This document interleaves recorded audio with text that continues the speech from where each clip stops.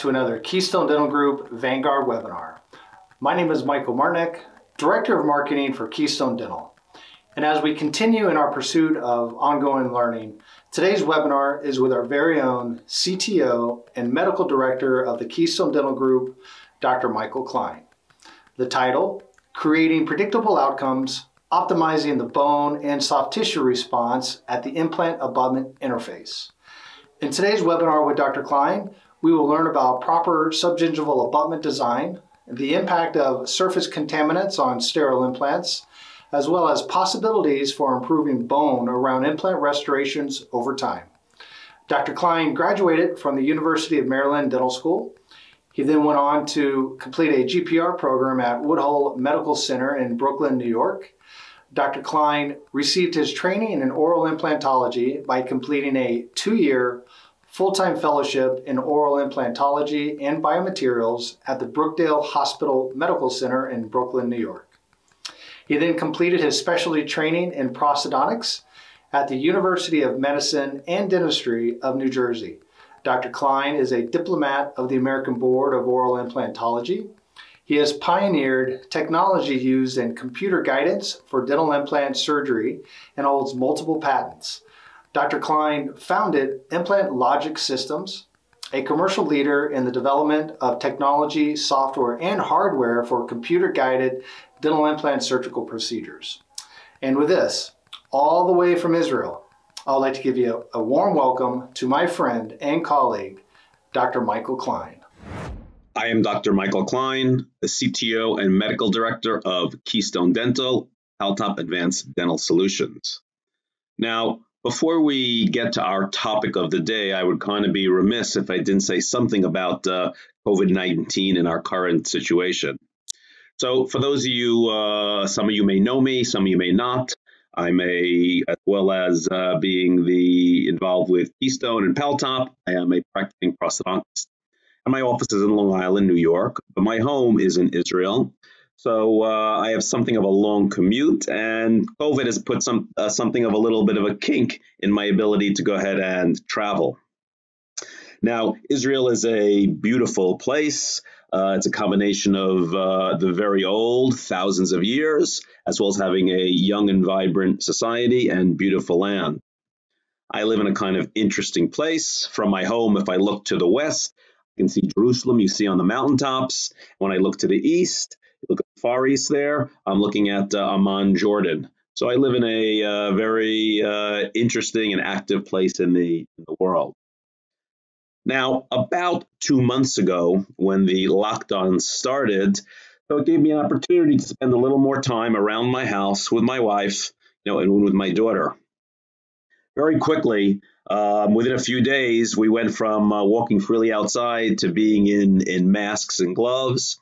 My daughter, who normally at this time would be in her apartment with her friends at university uh, in Tel Aviv, is home, uh, uh, you know, vegging out on the on the couch, playing on our playing on our phone.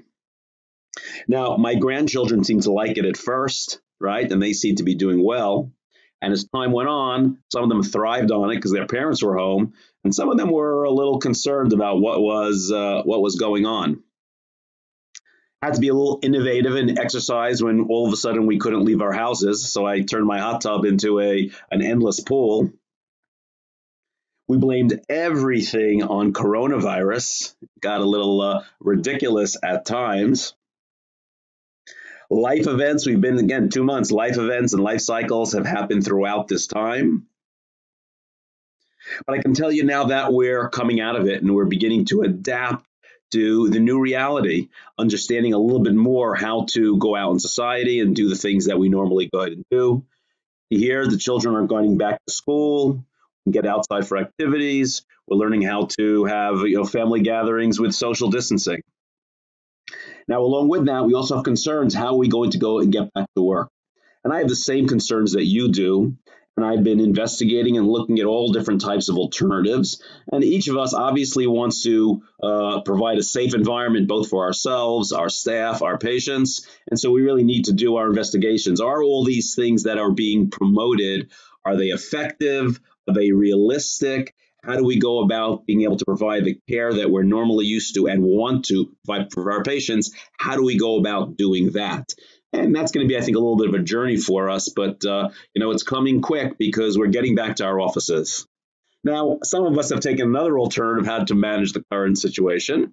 So I'm not an advocate of lots of alcohol, but because most of you are probably at home, you know, watching this lecture, so I welcome you. Open up a bottle of wine, you know, take your favorite drink, and you can sit back and relax and enjoy the rest of the presentation. Now, my topic that I picked was discussing, you know, how do we optimize bone and soft tissue at the implant abutment interface. And that topic is something you can talk about for a day or days. Uh, I'm going to come about it because I only have around 45 minutes or so from a little bit of a different orientation than probably most of you are, are, are used to looking at it. And so I ask you to just take this into consideration and, and some of these thoughts into your thinking processes as you plan and implement treatment for your patients. So this is a, a favorite type of patient of mine. Um, and uh, you know, I'm not sure if you can guess why. Looking at it, you might think, well, why it's you know it's in the aesthetic zone.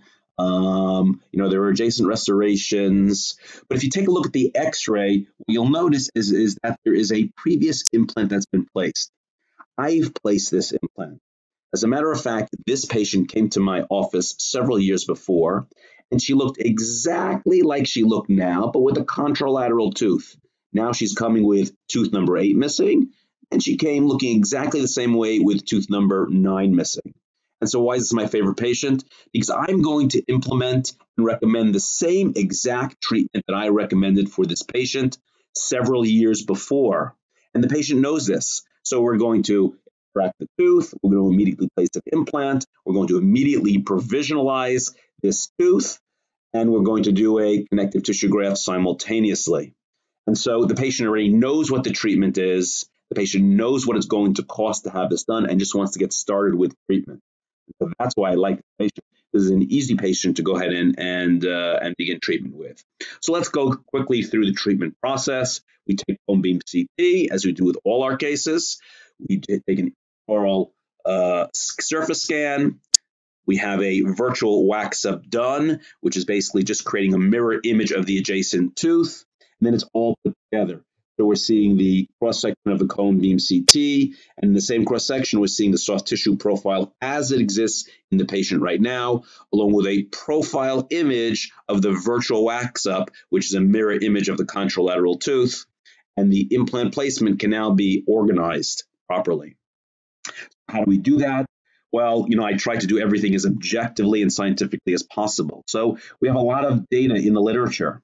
So we're going to take our evidence-based measurements, right, to create a, a optimal implant position because there is an optimal position for any given patient. We know that from in a vertical orientation, we place the implant three to four millimeters apical to where we want or anticipate developing buccal-free gingival margin. And that comes directly from the literature. It's been well established. You've all heard it many, many, many times. I've just cited one article here from uh, Salama and Garber and Tarnow, okay, very well known. We also know there's going to be some horizontal bone resorption, regardless of whether you graft a socket or you don't graft a socket or what type of material you use. Alloplast, autogenous bone, xenograft, um, it doesn't really uh, it doesn't really matter. We have to anticipate there's going to be some resorption, and so we position the implant two millimeters palatal, but two millimeters to the lingual. Number one, anticipation of resorption, and number two, we want to have a volume usually of try and have two millimeters of bone to the buccal of that implant. Number three, we know that we're going to have some, we need to anticipate to have some vertical resorption, right, of the buccal um, uh, crestal alveolar bone, maybe a half millimeter to a millimeter. So we're going to position our implant in that position. So we can come up with an evidence-based comprehensive treatment plan or positioning, you know, for the ideal position for this particular given instance. And we take all of that and we create tools for the time of surgery. And what are the tools? Here it's going to be a surgical guide so that we can exactly position the implant in the position that we developed, along with a provisional restoration.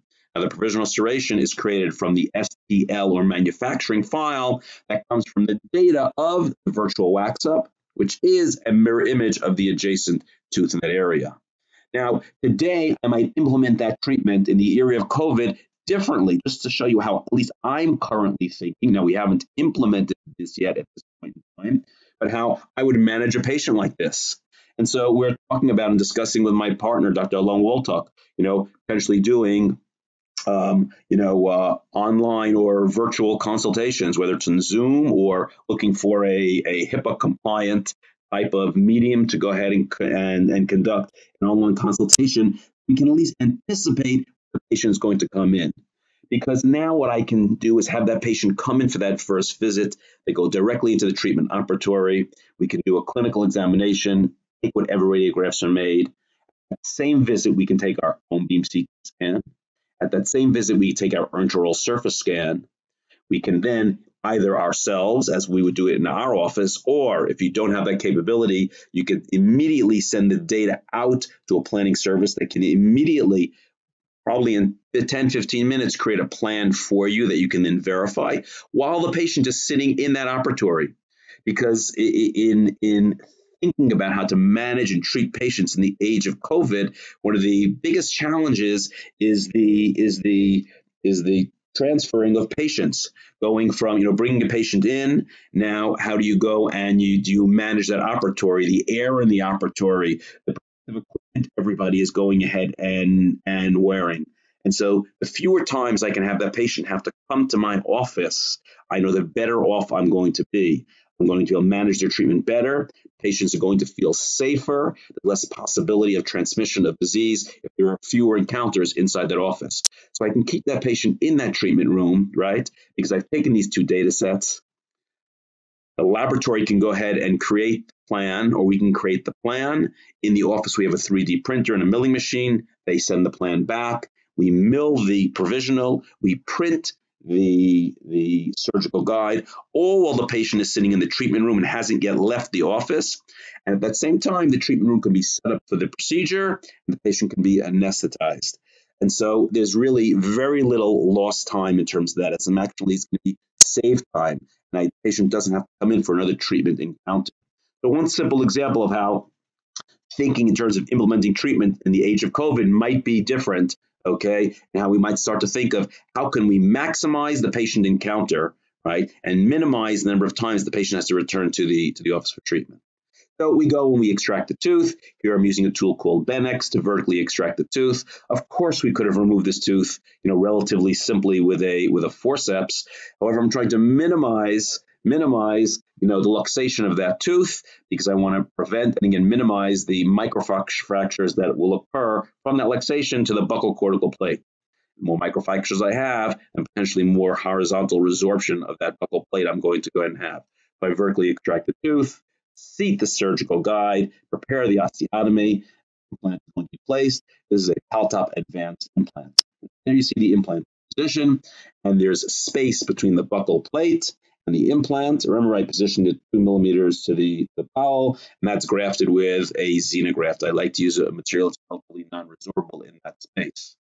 And I try to do things as objectively as I possibly can. And so I want to assess the stability of that implant before I make the final decision to immediately provisionalize the implant. And so we take ISQ measurements, right? I know from the literature that if I have measurements of 70 or above, it's relatively safe. Now, it's not exactly exactly true that I can automatically immediately provisionalize with a number of 70. We have to assess the parafunctional habits of the patients. We have to assess the occlusion. If I had a number of 70 and the patient had a relatively deep bite, I might still be concerned. So there's lots of other factors. Are there teeth on either side? Um, is this, uh, are there multiple implants being splinted? Is it coming around the arch? This is another factor, another tool I have and help make that assessment what's appropriate. Now, in order for me to predictably get numbers that are high enough to do this immediately provisionalization, I need to use an implant that has a geometric design or external geometric design that will provide me with adequate initial stability because that's what gives the initial stability. It's the outside geometry of the of the implant. So I, as I said before, I placed a Paltop implant here. And in, my assessment of is this a good geometry, right? I did an initial study in my office of the first 281 Paltop advanced implants that I placed. I took 560 measurements or two measurements on each uh, on each implant.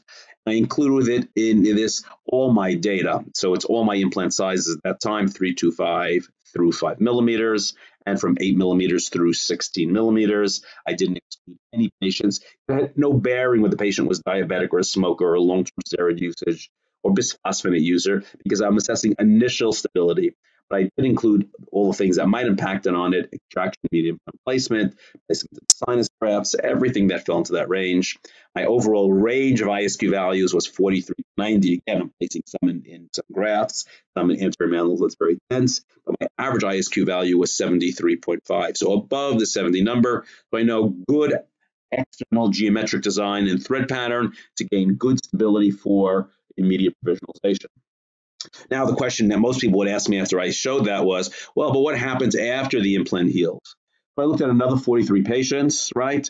I took 100 measurements, 100, excuse me, 100 implants, 400 measurements, which are, or two measurements at the time a day of placement, two at the time of restoration. That's why it's between one and a half months and six months because that's the healing time prior to restoration. And the numbers at placement were 71, 73, again, falling in line with the previous data that I had showed you. And after that healing period, I'm at 74, 75. So I'm maintaining that good stability. I'm maintain I have good healing around the surface of the of the implant because number of 70 or plus are, are very good number have in ISQ values. Now, we've made the decision to immediately provisionalize the implant, and so we take our PEEK abutment. I like to use acrylic to reline my provisional. And because the acrylic is not going to stick to PEEK, I go ahead and I create some mechanical retention in, and I just cut a cut, took a round burr in my high speed and uh, cut a couple of holes inside the inside the PEEK. Now I go and I take my provisional that's been machined, okay, from a manufacturing file that exactly replicates the contralateral tooth, right? That was my mirror image. Here I see it seated into place. And again, it's designed with a hole that will exactly accommodate the position of that PEEK abutment, and we know that because it's done with the surgical guide and the surgical guide position. Now, in this PEEK component, there's a concave element, and if we look through all the components in the Paltop system, whether it's the healing abutment or the impression copings or the provisional components or final prefabricated abutments, a concave design is implemented in that. And we're going to talk later on the significance uh, of the concave design and why um, it may be important to have in your design of your restorations. Now we're going to go ahead and do a subepithelial connective tissue graft. And I routinely do this in aesthetic cases, and that's because I've just found over time, although the, the soft tissue will heal and remain healthy, over time we end up with some resorption of that buccal cortical plate and some flattening of that area. So even though it may look good on initial placement of the restoration, and for the first several months, when you look down the road at two years, three years, four years, a certain segment of those cases are going to look flat. So I automatically do this procedure. I adopted a procedure I learned from Homa Zadeh from UCLA, where I create a vertical vestibular incision and I tunnel up underneath the supragingival complex to put in place my graft, as opposed to creating a pocket at the crest and trying to stuff in the soft tissue and then having it pop out one side and you fight with it and and all those other you know uh, all those other issues. So it's really quick and predictable to go ahead and create this tunnel as long as you have some good tunneling instruments. I lasso the connective tissue. And then i pull it up through the tunnel into position underneath that uh, the whole gingival complex. Now i take my provisional restoration. I seat it into place and I take the two stress sutures, right, the, actually the, the end of each uh, of that suture, and I pull the connective tissue into the concave neck of my restoration. So I pull it into position, and then I tie the suture around the palatal to fix it into place. And that's it. So no complex suturing to go ahead and do. I just put the connective tissue through the tunnel. I pull it into position into the neck of that concave design of the restoration and tie it off along the palatal and then just put several small suture interrupted sutures to close my vestibular incision. And this is how the patient walks out the walks out the door.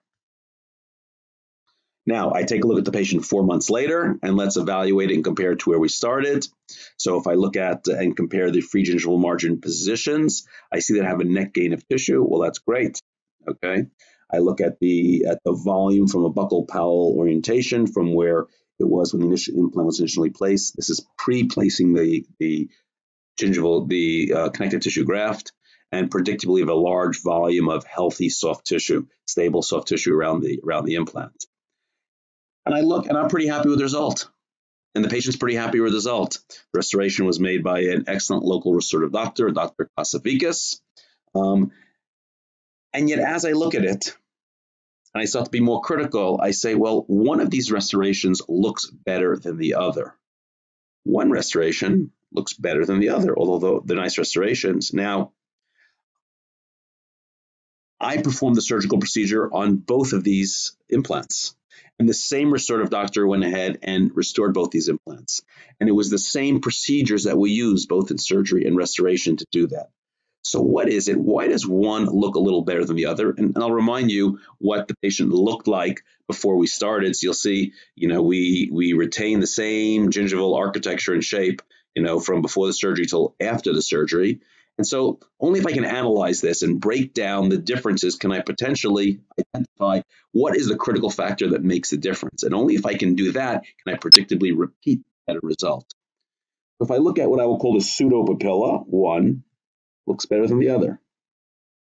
If I look at that, the free gingival margin, one looks better than the other. And this was not created or done through any type of gingival, you know, uh, mechanical shaping, laser, scalpel just by the shape of the restoration. I look at the bone levels, well, they're both doing pretty well. But I see that the difference is a difference in what I will call the transgingival segment. From the implant connection up to the free gingival margin, you see we're having a difference in shape and concept design between the older restoration and the newer restoration. And can this be the reason why we're having a difference in effect of what that uh, the soft tissue appearance is? and we're going to discuss this in depth a little later on. I had another patient who came to my office. This is an 80 year old woman. Uh, she comes to my office in November and she says to me, Well, my crown fractured off my tooth. Um, I've had an implant before. See, yeah, you haven't done it, but someone did it. And I look at it, it looks fairly nice. And she says, I'd like to have an implant to replace this tooth, and it's a cuspid. Okay, so I think, okay. Um, you know, cuspids we're relatively wary of, and it's not just is there adequate bone to stabilize the implant, but what is the what is the, uh, potential of the of the management of the functional and excursive and protrusive movements of that patient? Because even if I can relieve them completely in a cuspid, if the patient has somewhat of a deep bite, they're still going to be able to put pressure on that, and I potentially have a failing implant. And so um, this patient had a favorable occlusal relationship, and we said, okay, we can take out that tooth and replace an implant. And I'm thinking, okay, I'll take the crown off of this implant. It's screw retained and cantilever off a provisional tooth. Um, and she says, no, I really don't want you to touch this implant. I don't want to wear something removable. Oh, and by the way, I'm going to Florida for the winter in one week from now. So, okay, I can't make her something removable. I'm not going to make her a transitional partial denture. I can't use this implant. Um, I'm not going to take the restoration off this tooth because this is the next tooth that's going to be lost for this, this, patient. And so the decision is because it's a favorable relationship to do an, an immediate implant. So she comes back in, I extract the tooth, place the implant. This is again a Paltop uh, advanced implant, and immediately provisionalize the case. And she goes off to Florida. Now, I, before she goes to Florida, I give her all our instructions as we normally do that she should not be eating on that tooth. She should be favoring the other side of her mouth. And even with that, she should be on a softer diet, even though you know she's not going to be chewing on that tooth. But I know very well that this 80 year old woman who's going down to Florida, right? She's waking up in the morning. She's going to play mahjong with her friends. She's having lunch with different friends. And the last thing she's thinking about is that implant right? It's just not part of her life. Not at this point at you know at 80 years old. She's going to go ahead and enjoy her her social life. Um, and I'm hoping that I've put enough measures in place, right, and, and placed a large enough implant with adequate bone stability, managing the provisional restoration and its occlusion, that it'll tolerate whatever she's going to do. Now she comes back actually seven months later, and I take an X-ray, and I'm prepared you know, I'm, I'm expecting the implant to have healed. I'm prepared to have maybe even a little bit of crestal bone loss around this implant because I know this patient has probably abused this implant and she's not thinking about it. She's comfortable in it. She's, she's, you know, she's going on with her daily life. and I take the x-ray and this is what I see. And I say, wow, that looks pretty nice. Not only don't I have any crestal bone loss, right? But bone looks really good. Let, let me take a closer look at it. So here it is on the day of extraction, you know, and so the extraction immediate implant placement, you see I can have some space here. Here's the provisional component, and here's the platform switch. And here I see the bone coming up just up underneath the platform switch on the other on the other side. And now I look at my x-ray when she comes back in at seven months and I see, wow, the bone looks like it's completely filled in, you know, in that space and up over the platform switch and creeping over the platform switch on the other side. I say, how, hey, is there, you know, there's something else going on here. So I'm getting a result that I didn't maybe expect. And I said, let me go back and look at other patients of mine. Now, routinely we place implants and before they're restored, we go and obviously we take x-rays and evaluate them. But there's a difference at looking at these x-rays and really examining these x-rays. I said, let me go back and look at them very critically. So I started looking at x-rays critically, not from the point of time when the implant was placed when we were ready to restore it, but I said, let me look at it from when the implant has been restored, initial restoration is inserted, at some point later on in time. So this is the date you can see here custom abutments have been placed on this implant. And if we look at this, we can see, okay, we have a, a little bit of space, you know, bone is pretty much up to the platform switch with a little switch, a little space. And over here, maybe even, you know, the bone broke down just underneath the platform switch. Uh, the same thing on this implant, maybe even a little bone loss over here. And now I look almost two and a half years later after the implant's been restored. And I say, wow, look at the bone. The bone now has consolidated up to the platform switch over here and on the same side on the other one. Again, comparing it to where I was here when it was restoration was placed, the bone appears to be might be over the platform switch here. And this distal of this implant over here, where I thought maybe there was some bone lost, I, it appears that I have bone that's come all the way up to maybe just over the platform switch. Now, now, do I believe I grew bone vertically over that period of time? Uh, you know, I don't know that I can say that, but I think the bone's matured. The bone was in, initially in a remodeling process and the bone matured in a positive manner. Look at another patient. Here it is. This is a patient had been a, a, an implant placed for a congenitally missing tooth with immediate provisionalization. And I look at it again, two two and a quarter years or so after restoration. Okay, not from time of replacement, from time of restoration, and the same thing.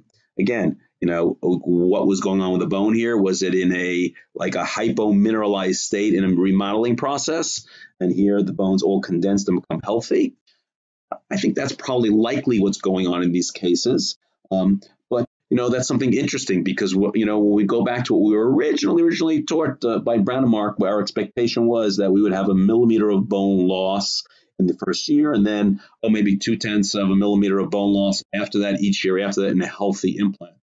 Sure, things have changed, you know, in the era of platform switching and, and old surfaces, possibly. But here I'm seeing bone improvement. Something's changed in the nature of biology of what's going on at the interface and the, from the bone to the implant. So that in through this remodeling process, bone isn't running away. In the remodeling process, bone is maturing and condensing against the surface. So I said, let me go ahead and do a little bit more of a study on this. And I went and I did, and uh, I did a study, and then wrote a paper that was published uh, just last month in April 2020 in Compendium. A, this has been peer reviewed, and I wrote this article along with Dennis Tarnow and Lauren Lehrfield. And this was my was my study. The study was to go ahead and to retrospectively evaluate changes in bone following final abutment insertion and functional loading. And we wanted to evaluate many factors relative to it. It had to do with the implant type, the width of the implant, the length, whether it was put into healed bone, extraction sockets, immediate provisionalization, the type of abutments, screw retained, cemented, splinted, and follow those implants over time, but from the time of restoration and see what happened with the with the bone. Type of implant were, were of the Paltop type, and the overall design is with a self-tapping thread, taper design, on the apical third, the midsection of the implant, well, implant section is somewhat is somewhat straight, is somewhat straight, um, and then we have micro threads, micro threads at the top of the implant with an ultra pure SLA surface treatment and platform switching. So that's the the implant. Uh, let's call it geometric and surface design. Now, what, what I looked at was 50 consecutive patients. So I didn't pick and choose patients, but 50 consecutive patients that fit the criteria with 87 implants. And they were followed radiographically. It was not with a standardized radiographic format because it was a retrospective study, but qualification qualification criteria okay to include it that we would be able to say reasonably okay that we weren't having a lot of elongation or foreshortening of the implant but because of that, measurements weren't taken. I look for a trend or direction of the of the implant. And even having said, okay, it's not standardized, I would expect to see things decreasing as well as increasing on the same variation, you know, on that uh, for that uh, format because of uh, qualification criteria. And so we looked again at 50 consecutive patients, 87 implants for a period of maybe one year to four years following restoration of the of the implants. And here was the, the things that we looked at. We looked at the at uh, at the implants, compared every category to a control group of a different company, but a similar type of design and surface treatment implant. We looked at bone status by gender. We looked at bone status by implant placement into extraction socket versus healed bone versus healed bone with the previous bone graft. We looked at uh, uh, immediate healing versus immediate temporary versus implants that were buried, whether the procedures were done flap or flapless. We looked at implant diameters. We looked at implant lengths. We looked at whether the restoration was cementable or screw retained. Looked at whether it was a single unit or splinted restorations. Type of abutment. Were they custom abutments, multi-unit, multi-units? Were they UCLA design, tie-based? We looked at the time span between the final abutment insertion and the follow-up x-ray, as well as the number of implants within each one of those time spans. Now, I will tell you that um, we statistically we didn't have enough implants when you start to breaking everything up into categories. But I encourage you to read the article and look at the article because the data is very interesting in what it's in what it's alluding to okay, what it's alluding to. And certainly we need to verify all of this in, a, in the larger controlled prospective study. But we were able to go ahead and look at a trend of the, of the implants of whole. And what we found was this 30% of the implant surfaces showed bone improvement. Yeah, let me say that again. 30% of the implants showed bone improvement, what appeared to be improvement, like I showed you those in, the, in those initial x rays following restoration. So from restoration to one to four years later. 62% of the implant surfaces showed bone maintenance, and 8% showed bone decrease, okay, but that over the time, but that decrease was 0.1 to 1 millimeter. So over the time, so still well within the range, even of the, of the original Brånemark criteria. So talking about that time, you know, having one millimeter, you know, to, absolute of one millimeter, most of the time significantly less. So we're talking about 92% of the time the bone being at least maintained, with 30% of the time bone looking better over time. Better over time, not two tenths of a millimeter, you know, bone loss, you know, in, in terms of uh, that, you know, over the question is, is, is why are we seeing this? And why am I seeing this? Because I, I, I, I compare this to a con control group. My patients, again, where I went ahead and used the same exact criteria, okay, with the, you know, for all the different categories, and I didn't see the same thing in terms of that. So I hypothesize that it comes down to three different areas. One having to do with an ultra high purity SLA surface treatment. The second have to do with what I will call uh, uh, a concave design in the transgingival segment, so from the implant connection to the free gingival margin. And the third having to do with uh, precision tolerances that we all recognize help prevent micro movement. And what do all those things lead to? A reduction in inflammation. If we have a reduction in inflammation at that implant to abutment interface at that point in time, um, we will have less bone remodeling, less activity at that point, and therefore we can maintain bone and perhaps let the biology of the patient do what it wants to go ahead and do, and that's remodel the bone to repair the bone. And the implant just happens to be there in the way and gains the benefit of that bone condensing and remodeling in a positive fashion up against that. So let's look at each one of these areas. So first, first, uh, first uh, category, SLA treatment. So we're all familiar with SLA treatment, originally originated by uh, by Straumann, sand grafting, sand grafting, large grit and acid uh, uh, uh, etching. Um, And most implant companies that offer an altered surface today use a form of SLA treatment. You know, you know, but, but it is all SLA the same, right? Now we all use the same basic recipe, and here it is.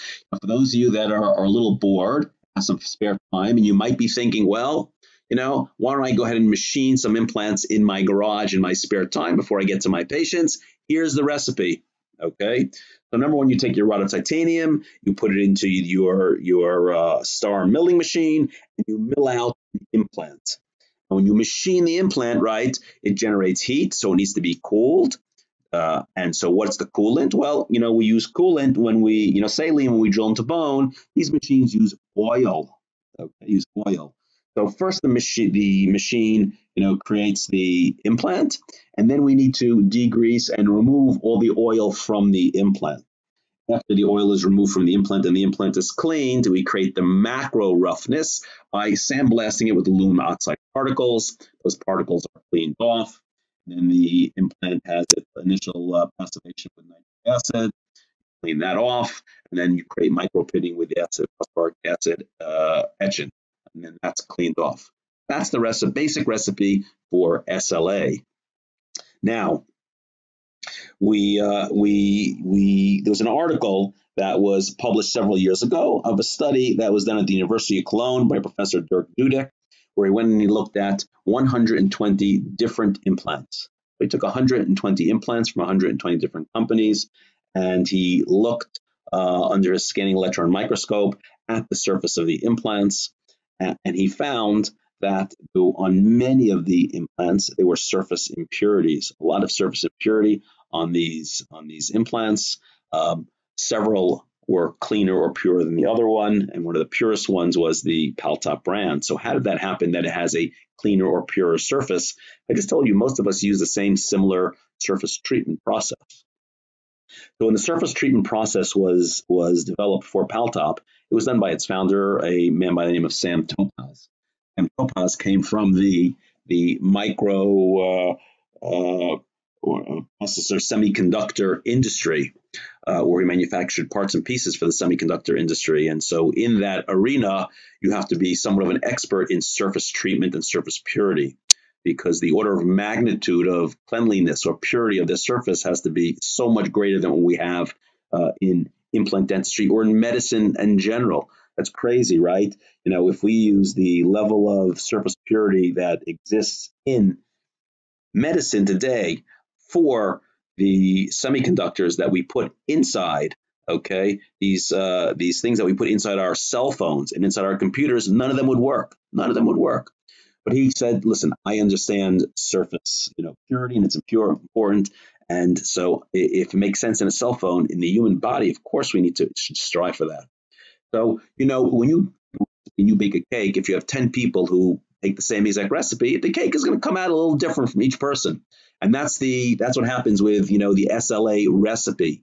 So he developed his recipe for that. And because an understanding that of surface purity, he said, I'm going to do something called XPS analysis.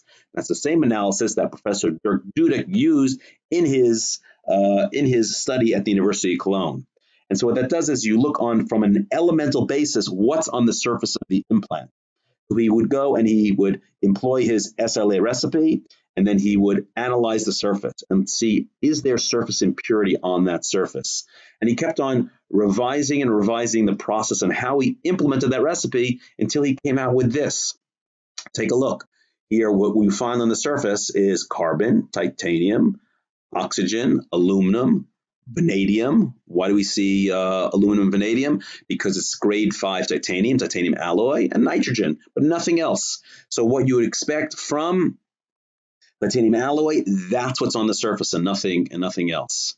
And yet when you look and study other major implant brands, other major implant brands, and, and look in the Professor Dirk Duddeck study, you'll find that there are other things. Take a look at this implant. This one has carbon, titanium, and oxygen. So this is CP titanium, commercially pure titanium, okay? But that has nothing to do with what happens afterwards because you'll look and you'll see that what's on there? Zinc, ZN, zinc. Well, why is there zinc on the surface of this implant? Well, when you do the surface treatment and then you clean the surface treatment off, you clean the acids, you clean the aluminum oxide, what do you clean it with? Water. What's inside water? Zinc. Take a look at this different implant brand. There's phosphorus, sulfur, zinc, chlorine, potassium, silicon. What are all these from? These are from the surface processing, from the etchants, from the from the from the blasting with aluminum oxide. These are things that are left behind on the surface of the implant. So you'll say, okay, so what? You know, my implant brand says that we gonna, we're going to have a 97% success rate. When I place my implants in, they integrate. I rarely have a failure. So I do have a 97% success rate. So what difference does it make if there's some surface impurity on the on the on the implant? So there was an article that was published in a, a journal called Frontiers, uh, Frontiers, I think, in Immunology. Um, and it was a study, it was an article published by from the Department of Periodontology at uh, Hebrew University. And this is what it was called. It was called impaired differentiation of Langerhans cells in the murine oral epithelium adjacent to titanium dental implants. Wow. Um, you know what I do when I open up a journal and I see that title? I turn the page and go to the next article. You know, I'm not reading this article. Um, what has this got to do with things that I do every day? Well, this has a lot to do with that. Oh, what happened was in the Department of Periodontology, they said, listen, we know that uh, there's a lot more periimplantitis that exists than we'd like to admit. We know that in studies they're talking about 25 to 40% of implants or more developing periimplantitis. And so therefore we'd like to study it and we need to study it. We want to make an animal model to study it so that we can better address it. And they said, well, what, what's a good model? Mice mice. Let's use mice. So they went ahead and had some mice-sized implants made. They placed the implant to the mice, allowed them to heal, and then they sacrificed and took sections of the of these uh, of the bone and soft tissue with the implants. Now, inside the gingiva, okay, we know that uh, in our patients there's something called Langerhans cells. This is very well established in the periodontal literature. And what these Langerhans cells do is they provide the uh, immune response, the antibody response to normal bacteria that are inside patients' mouths. So the Langerhans cells provide an immune response to this. And what they found in the studies that was that when they analyzed the soft tissues around the implant and they went looking for these Langerhans cells, what they found was that the precursor cells, the Langerhans cells, were there in normal amounts but the Langerhans cells themselves were significantly reduced. So the precursor cell to the Langerhans cell was there, but the Langerhans cell, the cell that actually provides the antibody response or immune response, was significantly reduced in that uh, in that area. Wow, if this significantly reduced, what does that mean? That means the patient's body can't provide the immune response that's necessary to combat to combat bacteria. Well, maybe that has something to do with uh, why periimplantitis develops over time. Because the body can't fight off the bacteria properly. They said, well, why, why is that? You know, why don't aren't we seeing Langerhans cells in the in the appropriate amounts or what we're used to going ahead and seeing? They theorized this. Know, we know also from literature that titanium ions are released from the implants. And they theorized that these, this titanium ion release resulted, right, in the the uh, inability of the of the precursor cells to, to differentiate into proper Langerhans cells. So ion release, okay, ion release was now preventing preventing the proper formation of the immune response that patients normally have, right, to bacteria inside their inside their mouth. So what does that have to do with surface impurity? You know, why am I bringing that, that up here? Well, why do we use titanium or titanium alloy to go ahead and, and place our, our, or for our implants? So we use that because it forms a strong oxide layer, which means that the chemical bonds on the surface of the implant are strong. It holds everything intact. So if I take a nail, it's made out of iron, and I throw it into a glass of water, what's going to happen? It's going to rust. What's rust? Oxidation. What's oxidation? Well, it's ions being released off the surface of the implant. The chemical bonds on the surface of that iron nail are not strong. So lots of ions are being released, producing this process that we call oxidation and or and or rust. So now if we go back to our impurities, right, that we're having on the surface of the implant, what kind of impact can they have? Well, we know that if you put impurities on a surface, it will create holes in the oxide layer.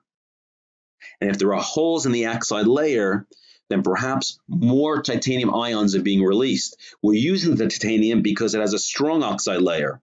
But if the oxide layer is not complete because there are impurities on that layer, right, then we're going to have more ions potentially released into that environment. If we have more ions released, what's going, what are those ions going to do?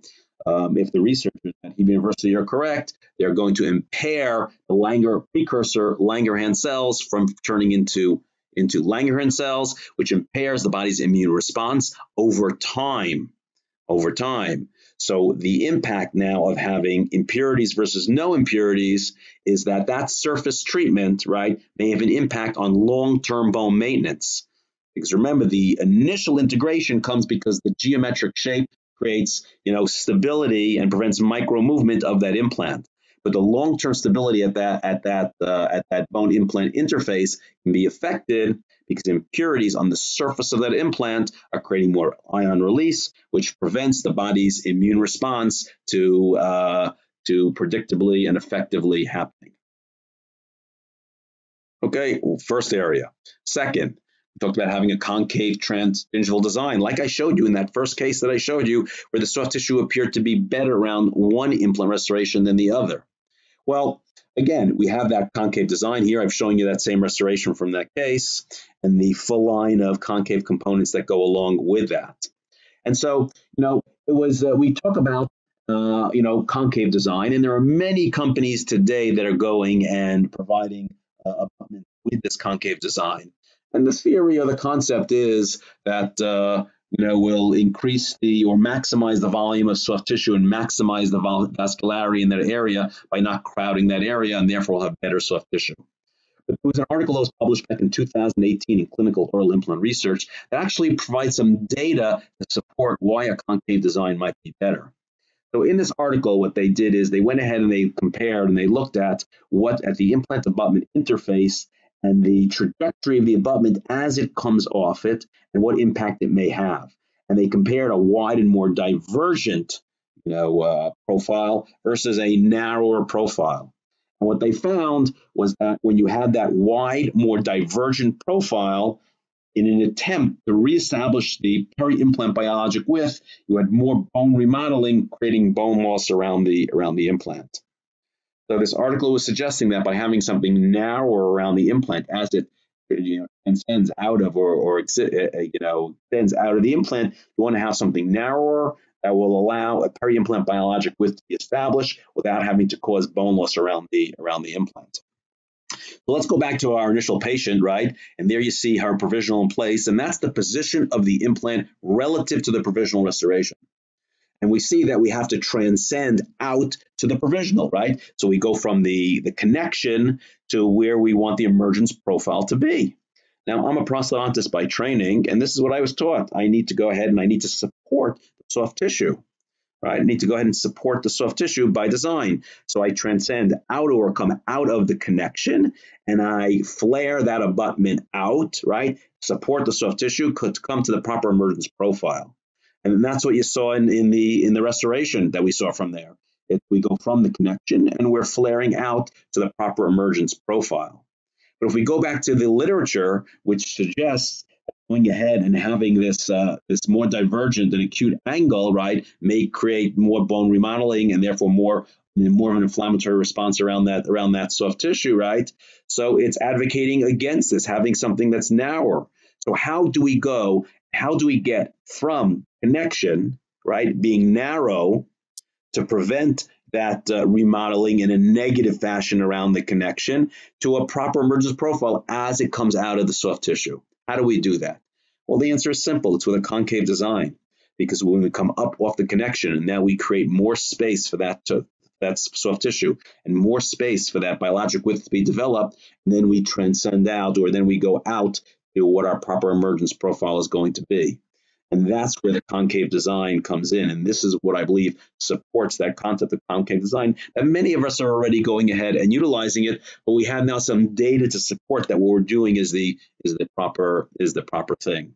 And so we're going and we're moving from the design of flaring out from the connection supporting the soft tissue to having a narrower design, right? Then flaring out only as we as we come to and exit out the the free gingival margin position so we have a good emergence profile in that position.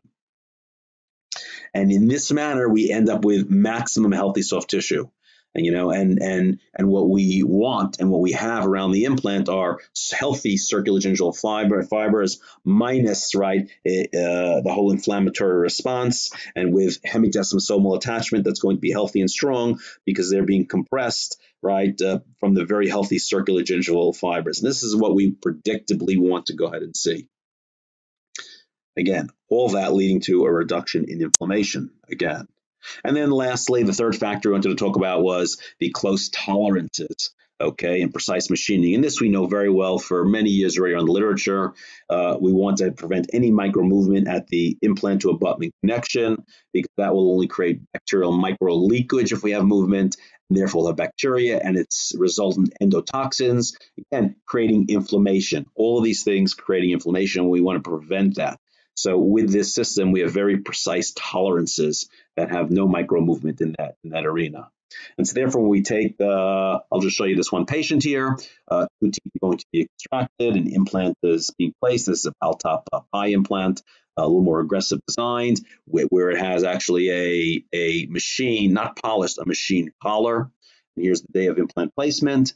And you can see now this is after, I believe, uh, four months or so of healing in these extraction sockets. You can see that routinely we have healthy bone that's grown over the implant, okay?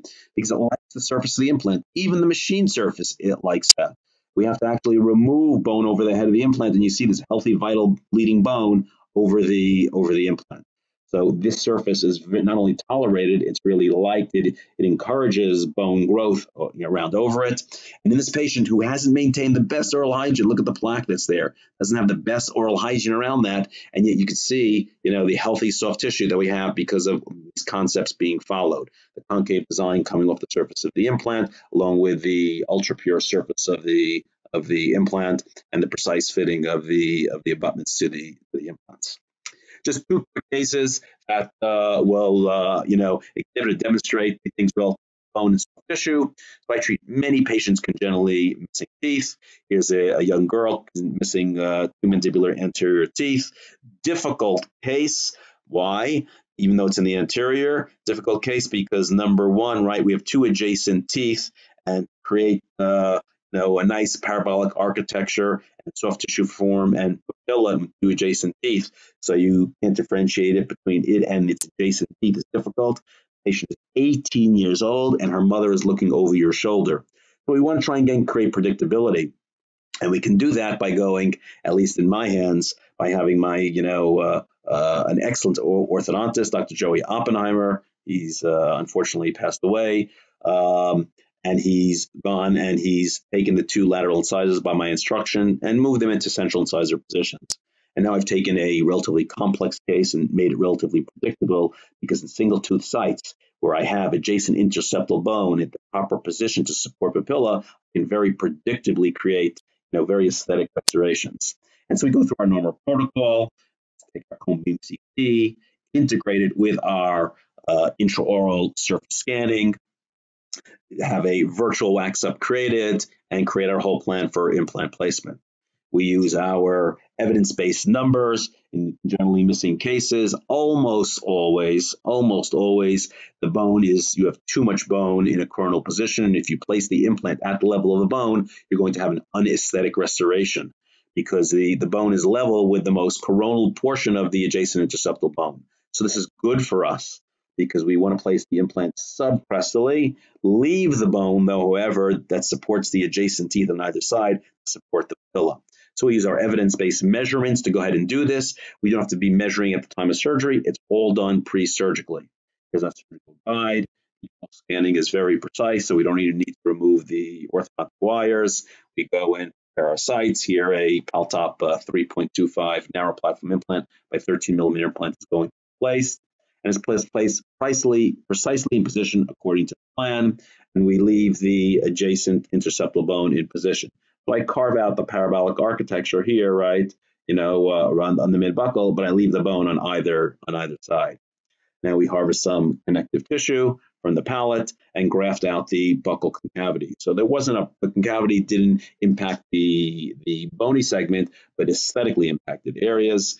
Uh, and then we take provisionals, immediate provisionals. They're tie based. Put in the appropriate contours, right, and suture the patient closed.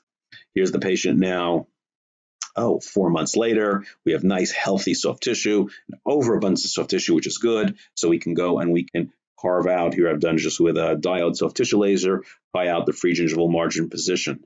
And then the case can be, can be, you know, restorations can be finished.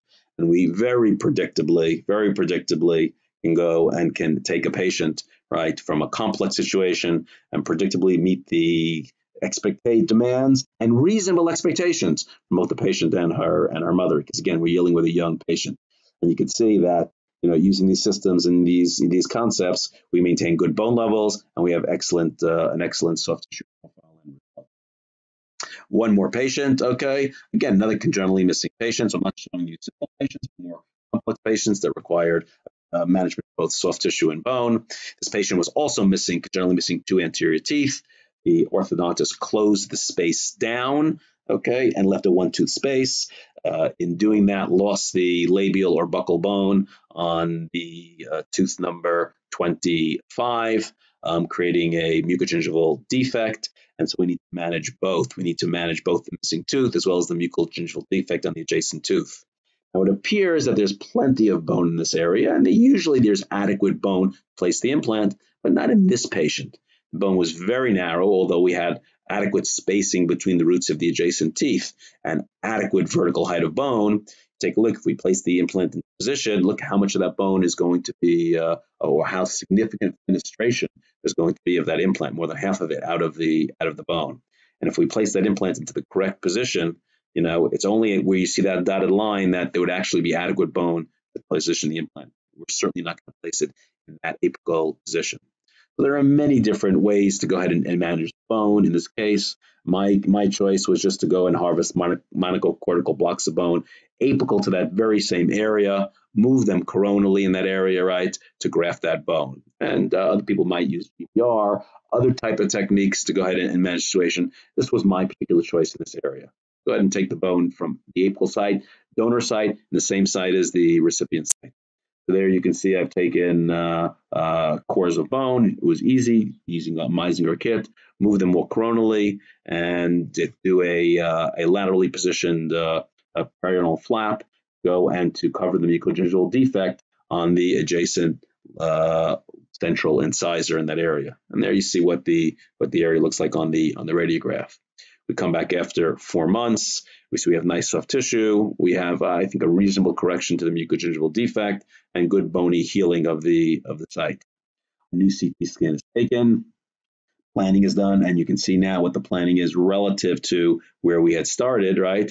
So that we have now got adequate bone to go ahead and place the implant versus before, right? An implant that um, that uh, half of it was going to be out of out of bone.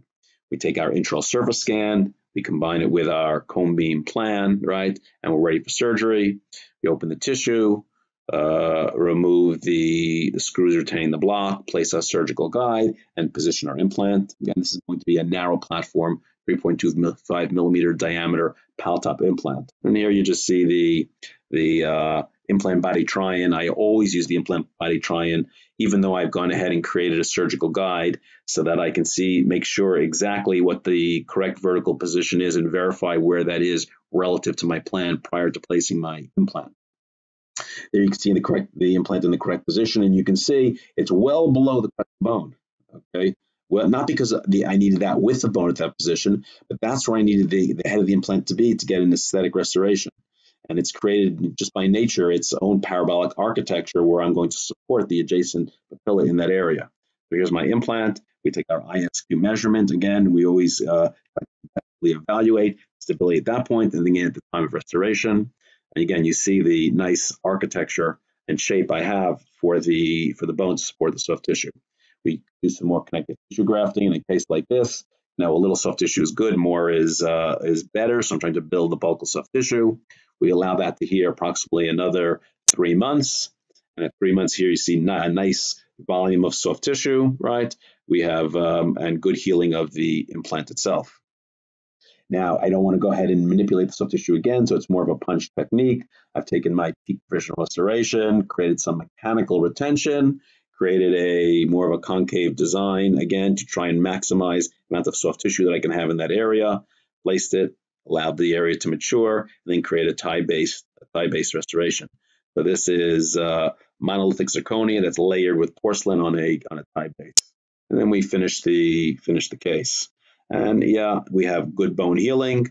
We have excellent soft tissue healing. Again, the patient has a little bit of a dry mouth, and so maybe with a little bit of better oral hygiene, we get rid of the redness in this in this soft tissue. But I think from where we started at this point, be able to come to a point like this, um, I'm pretty happy. The patient's pretty happy. The mother's pretty happy. We're maintaining our bone volume. So we have good bony support, a good position. We have healthy soft tissue. And those are the things that we need for long-term viability of our, of our implant. So why do I think we can go ahead and obtain these results? Why do I choose to utilize these uh, types of products? I attributed to three things, and these are things that you should think about in, in the materials that you use. We, we want to go ahead and minimize the inflammation or the potential for the inflammatory process around the that junction between the implant and the abutment. And here, and I attribute it to uh, number one, ultra high purity SLA surface treatment. And what the implications are of that relative to surface impurities or lack of surface impurities, and how that improves the patient's ability to fight off bacteria and the resultant, you know, bacterial endotoxins that, that come from that from that bacteria. One, having a concave design, which I think improves the mechanical defenses of the patient by having a better gingival structure or tighter or healthier attachment around that implant, by having healthy, tight circular gingival fibers, and therefore they're compressing and holding on those hemidesmosomes, potentially preventing again penetration of bacteria. And by having uh, a very uh, tight tolerances between components, between the implants and the abutments, preventing any micro leakage from the component from the at the level of the of the interface in that in that area. I'd like to thank you for your time. About an hour, maybe a couple of minutes over. I thought I was going to be. Um, I can be reached for questions. We're going to answer questions right now, uh, right now, live. Uh, but if you have questions that you'd like or things you'd like to ask me later on, not live, I can be reached at m.klein at paltopdental.com.